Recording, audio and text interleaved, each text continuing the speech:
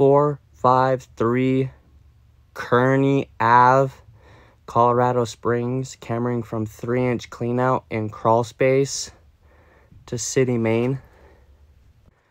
Transition outside of residence is 10 feet from entry point. It's going to be a white PVC to green SDR35 transition in the direction of flow.